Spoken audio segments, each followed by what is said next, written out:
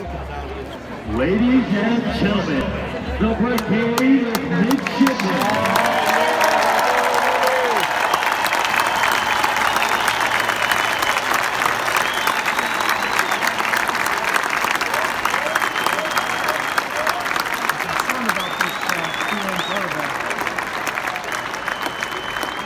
Ladies and gentlemen, please stand silently for a moment of reflection and respect in honor of the victims of Hurricane Harvey.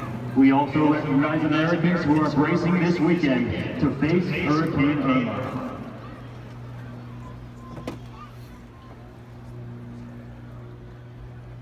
Ladies and gentlemen, please remain standing and turn your attention to the American flag and join the combined men's and women's Naval Academy Glee Club and Gospel Choir under the direction of Dr. Aaron Smith as they sing the national anthem.